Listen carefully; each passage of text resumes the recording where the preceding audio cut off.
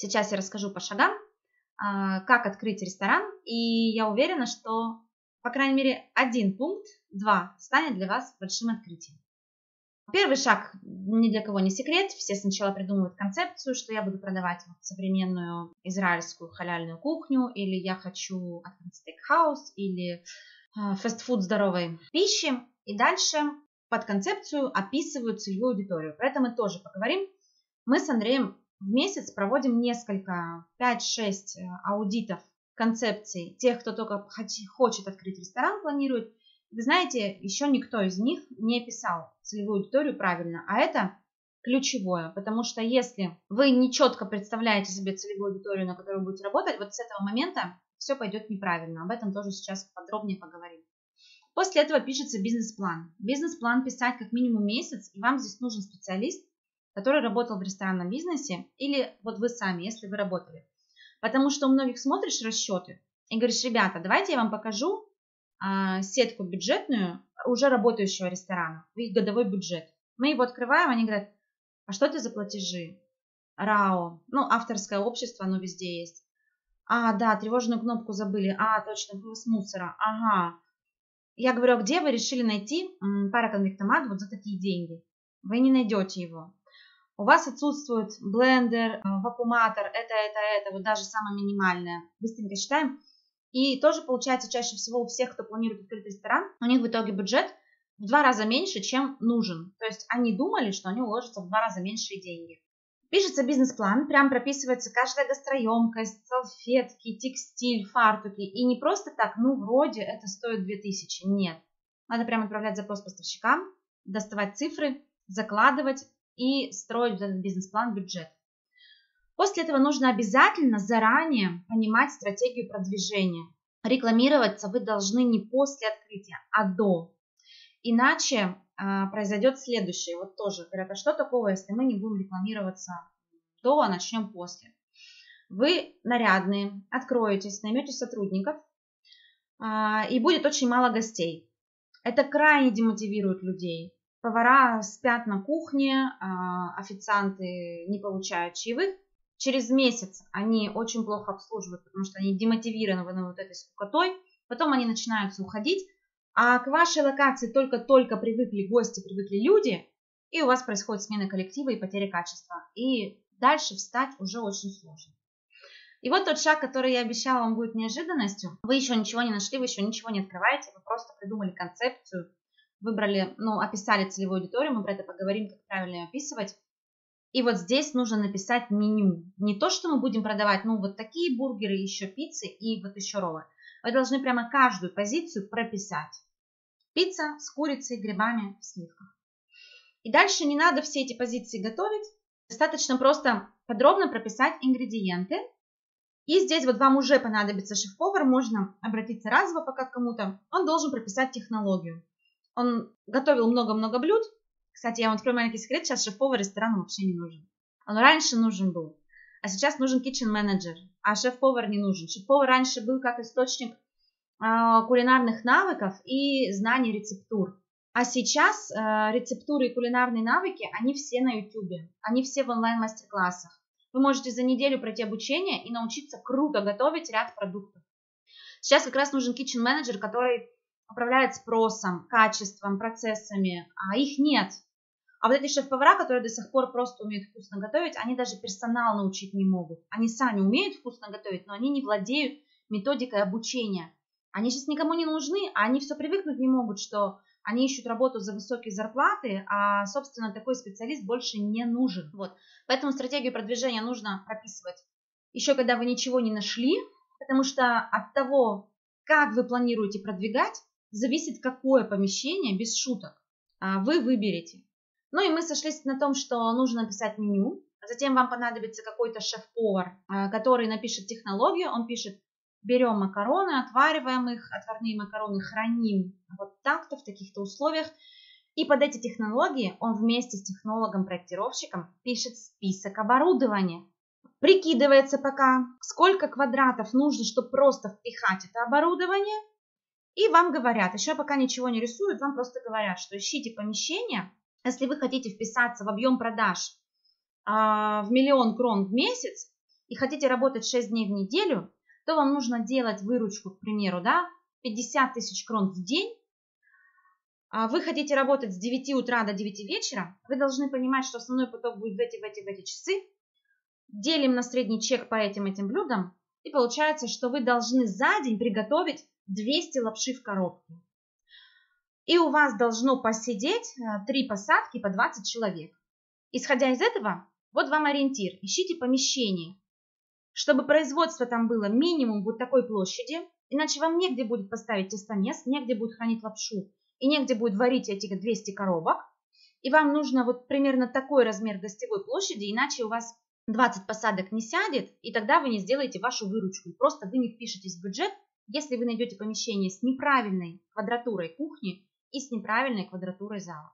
Вот этот шаг многие пропускают, они потом, они такие, хоп, помещение, хоп, концепция начинает открываться, а потом у них э, не влезает оборудование, не влезают процессы, им по цифрам надо делать 100 тысяч в день, а они просто не могут на этой площади, потому что не влезло оборудование, а не технологичное оборудование не может справиться с этим объемом. Вот. Поэтому вот такой пошаговый план, и только после этого ищем помещение. Если помещение найдено, вы хотите его купить или арендовать, то а, для подписания договора аренды я всем настоятельно советую, меня мало кто, к сожалению, слушает, нужно найти юриста, который работает а, в сфере общественного питания. Заплатить ему денежку. Если вам интересен такой юрист э, в РФ, я вам дам контакты. В Чехии еще, к сожалению, такого не знаю, но наверняка знают э, специалисты в школе бизнеса в Праге. А, нужно внимательно просмотреть договор аренды, потому что тоже у большинства, кто к нам обращается, уже в отчаянии, что помогите нам зарабатывать больше, оказываются какие-то проблемы, связанные с договором аренды. И я говорю, ну вот вас спасла бы продажа вот такой продукции, но вы не можете поставить вытяжку, потому что постфактум уже оказалось, что жильцы дома не согласны, чтобы вытяжка была встроена в общую вентиляцию, на улицу ее никак не вывести – и эти запахи, оказывается, будут распространяться по всему дому. Вот если бы этот момент был с самого начала учтен, а это может помочь сделать только юрист, работающий именно с договорами аренды в сфере общественного питания, потому что он знает все эти нюансы, их очень много. Потом оказывается, что нельзя музыку включать после восьми. А кто тогда захочет а, отметить, например, небольшой день рождения в семейном кругу, если после восьми нельзя шуметь и спускается злая бабушка и ругается? В общем, это мой совет по договору аренды. И если вы уже нашли помещение той рекомендуемой квадратуры, что вам порекомендовал технолог с шеф-поваром, именно сейчас первое, что нужно делать, надо начинать заниматься разрешениями. На летник, звать гигиену. Да, у вас пока еще голые стены, вы зовете гигиену, показывайте это меню и говорите. Посоветуйте мне. Вот я буду вот это, это готовить сколько мне нужно раковин, сколько мне нужно вы, вытяжек, э, где я должен то хранить, где я должен это хранить, еще пока ведете в пустое помещение. Также занимайтесь разрешениями от пожарных, от трудовой, э, что условия труда правильно организованы. Знакомитесь с жильцами, если вам не повезло и вы нашли помещение в жилом доме, а, потому что это тоже бывает фактором, почему закрывается ресторанный бизнес. Потому что их закрывают жильцы вызовом полиции и всяких проверяющих органов. И это самое время, вот именно сейчас, до ремонтов, заняться этим. Вы начинаете с этого. Ну, приведу пример для России. Алкогольная лицензия. Очень для многих оказывается сюрпризом, что для того, чтобы получить алкогольную лицензию, нужно запросить план БТИ. Как вы знаете, его не быстро делают. Потом оказывается, что план БТИ не соответствует требованиям к хранению алкогольной продукции. И нужно его переделывать. Затем нужно договор аренды отдать на регистрацию. А часто на этом шаге оказывается, что к этому не готов арендодатель. По разным причинам он может не хотеть зарегистрировать договор аренды. Причем на тот срок, на который вы получаете лицензию. Это иногда может быть на три года. Он такой, а я так не собирался. А у него помещение может быть в залоге, у банка. Вы не знаете. Оно может быть в ипотеке, а ипотеку банк может не дать. А вы уже подписали договор аренды, и тут, оказывается, через месяц многие ремонтом начинают заниматься, не думают о том, что а я потом, оказывается, не получу алкогольную лицензию. И потом оказывается, что уже денег в ремонт вложили, уже всем рассказали об открытии, а алкогольную лицензию вы не получите. И что вы будете делать? Кто пойдет? Вот уже столкнулись с этим, сказали, ничего, я буду продавать пиво. Это я про Россию говорю. А, нет, не ходят люди на пиво. Ходят раз, ходят два, а потом они говорят, а сегодня мы пойдем там, где есть виски, там, где есть коктейли. Э, важные моменты про алкогольную лицензию скажу, потому что все равно смотрят те, у кого есть еще рестораны в России или планируют там открывать. Э, для подачи на алкогольную лицензию нужно сделать программу производственного контроля и ХАСП. И это тоже занимает минимум месяц. То есть, считайте, договор аренды регистрируется месяц, пока план ВТИ выправите, пока а, программу производственного контроля напишите. Ну, здесь я поставила пункт, что при подаче на лицензию не должно быть налоговой задолженности. Для чего я рассказываю это людям, которые в Праге, в Чехии или смотрят, э, будут смотреть нас из других стран в записи. Вот таких нюансов очень много. И не специалисты, и даже многие управляющие, которые работали ну, наемным управляющим, они этим не занимались, они этого даже не видели, они про это даже не слышали. Приведут ресторан к э, разорению, потому что с самого начала они сами про это не знали. Так что вот будьте осторожны, таких процессов очень много. И здесь вопрос вам. А, мы просто уже здесь помогали некоторым рестораторам именно с открытием в Праге. И мы от всех слышим одну и ту же цифру. Скажите, пожалуйста, вот с того момента, как люди нашли помещение, а, в какой срок они думают, что откроется? Может быть, вы слышали, может быть, у вас представление есть. Вот вы нашли помещение, вы подписали договор аренды. Как вы думаете, в какой срок с этого момента вы откроете ресторан, кафе или кофейню? Год это абсолютно реально, правильно. Но, к сожалению, вот то, правда жизни такова, что люди думают то, как пишет Владимир. А, считают, что откроется за 3-4 месяца. Это ошибка номер два. За 3-4 месяца можно открыть кофейню. Правда, можно. Но ресторан не открыть категорически. Год, конечно, это много. Полгода в Чехии только бумаги будут делать. Но видите, в чем дело? И в России тоже. И мы в Таиланде помогали открывать, и в Испании, и в Болгарии, и в США. А, да, действительно, везде будут так бумаги делать полгода. В России может чуть побыстрее. Но это не значит, что вы не можете работать. То есть бумаги уже, они делаются в процессе. И э, к открытию они должны быть готовы. То есть само, само, сам процесс подготовки бумаг, он не запрещает вам пока готовить ресторан к открытию. В общем, реалистичная цифра, которую нужно держать в голове, если вы открываете ресторан, у вас есть команда профи, 6 месяцев на открытие, если вы открываете кофейню, и у вас есть команда профи, 4 месяца на открытие. Если вы открываете что-то, и у вас нет команды профи, будете делать все сами, то тогда на кофейню планируйте 6 месяцев и на ресторан год. Ну, 8 месяцев. Итак, предполагаем, что у вас есть команда профи или вас кто-то консультирует. Вот за 4-6 месяцев до открытия нужно обязательно найти шеф-повара и управляющего.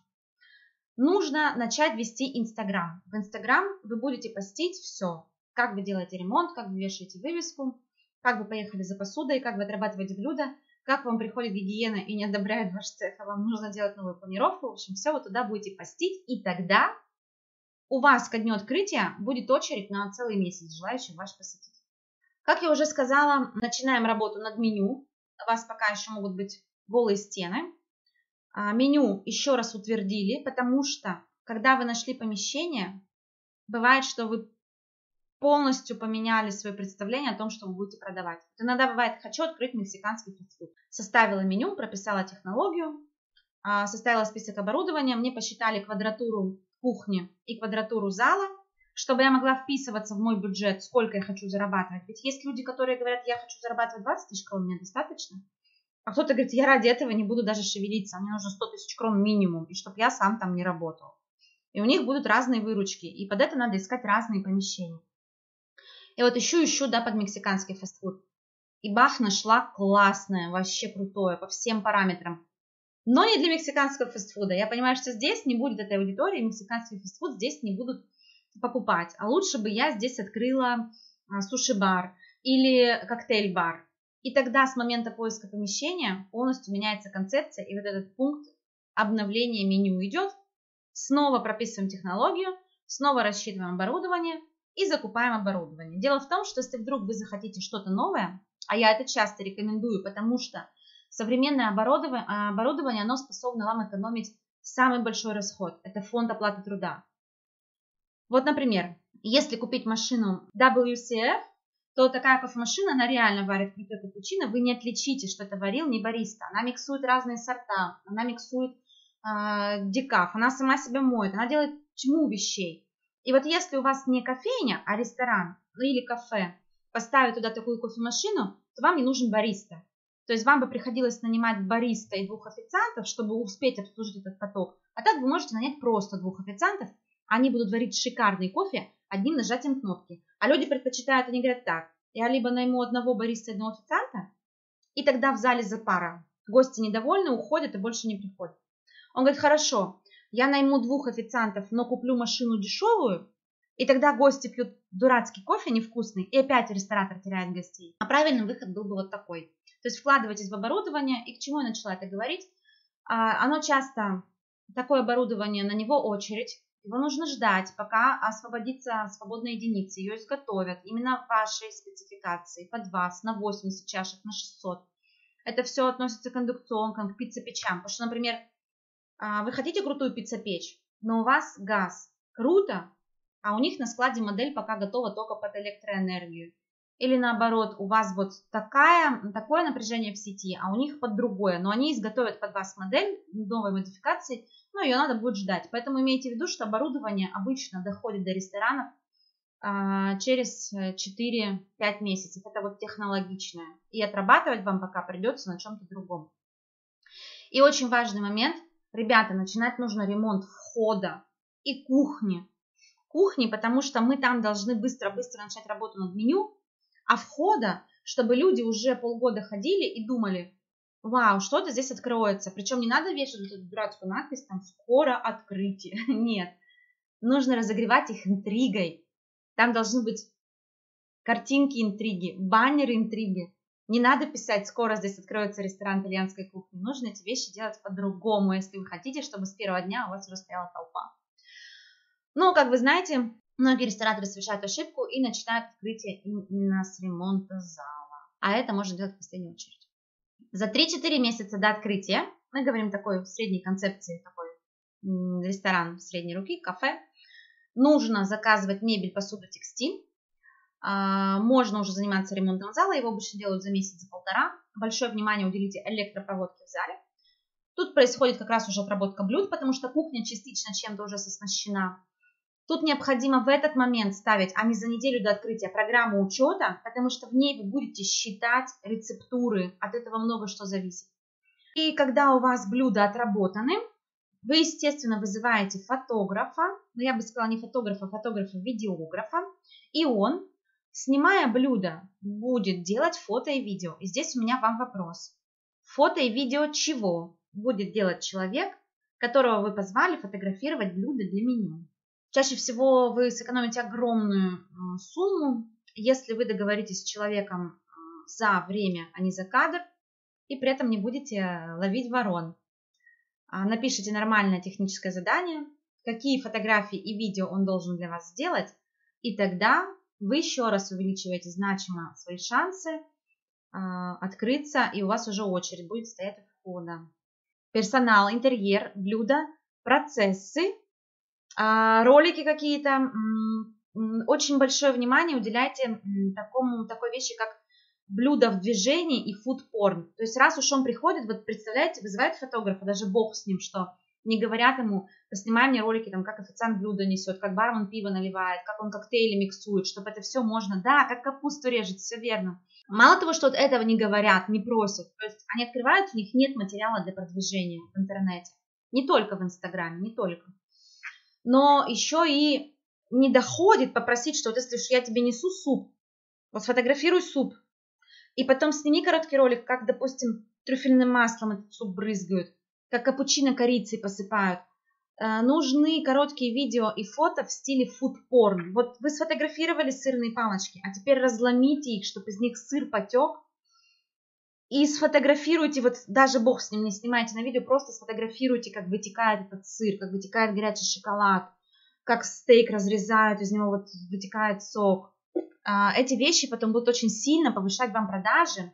Вы уже, ну раз уж человек приходит, там большие деньги берут фотографы хорошие, это правильно, это надо делать, так надо в это надо вкладываться. Вот такие фото и видео должны делать, а не просто фотографировать.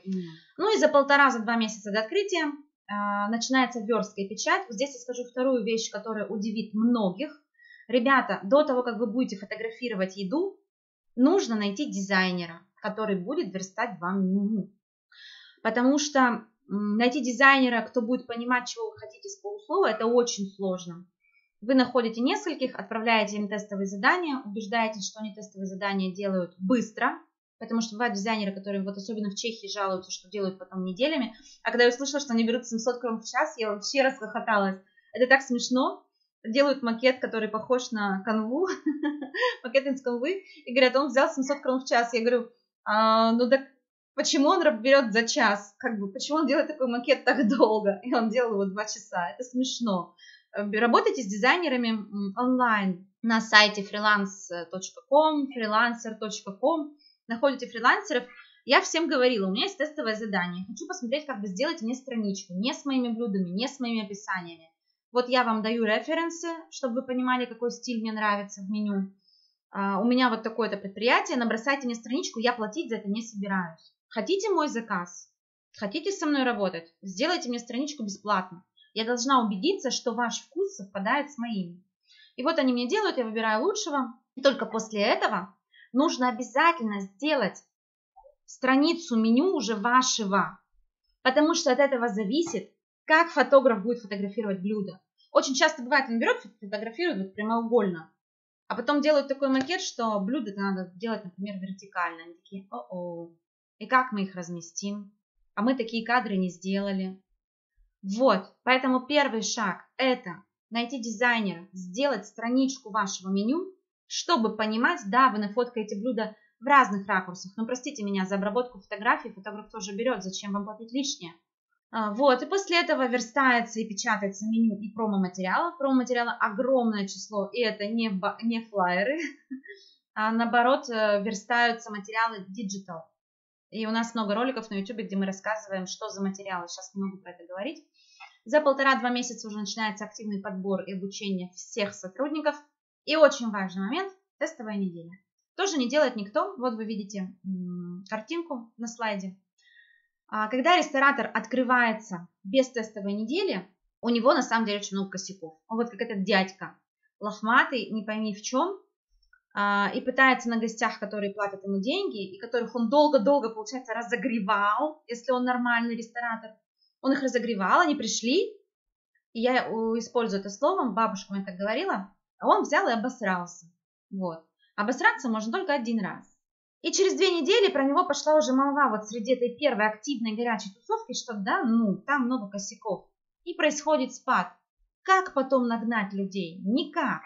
Поэтому нужно делать обязательно тестовую неделю. Прям вешается красивая табличка, не А4 на принтере напечатанная, что ребята, везде объявления в соцсетях, везде, что у нас тестовая неделя. Вообще приглашаются только свои.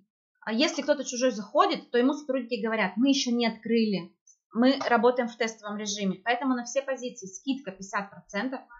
И если мы где-то косячим, вы должны с улыбкой спокойно нам об этом рассказать, потому что цель тестовой недели – узнать все косяки, сработаться, набить руку и уже открыться по нормальным ценам, без косяков, радуя людей. Вот.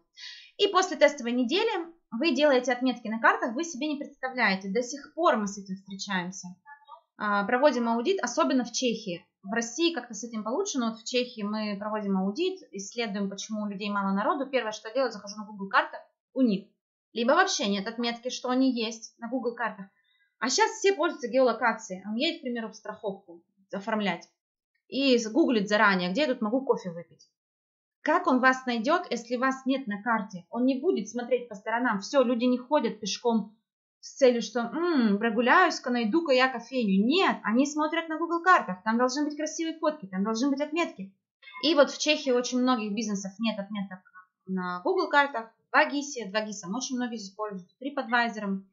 А, сделайте это за а, неделю до открытия. Примерно столько уходит времени, чтобы получить отметку на карте.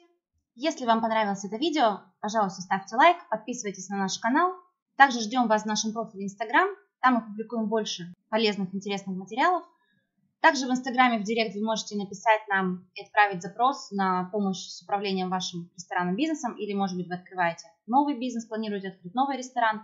Также можете писать нам на почту. Мы проводим личные онлайн-консультации, консультируем рестораторов со всего мира в разных странах и приглашаем вас на годовое обучение с нами. Оно достаточно демократичное. Сейчас еще все материалы размещены на нашем предыдущем портале. Адрес видите на экране gastrobrix.uscreen.io. И в ближайшее время мы переносим все материалы на наш новый портал. Там теперь уже будет все в одном. Там будут проходить и вебинары, и тестирование, и получение сертификатов.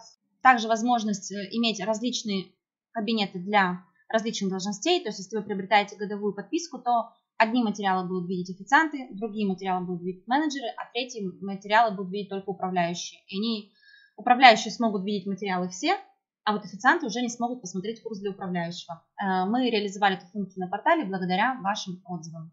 Если вас интересует годовое обучение, также можете писать нам в директ, мы подробнее расскажем, из чего оно состоит. На этом все, до новых встреч!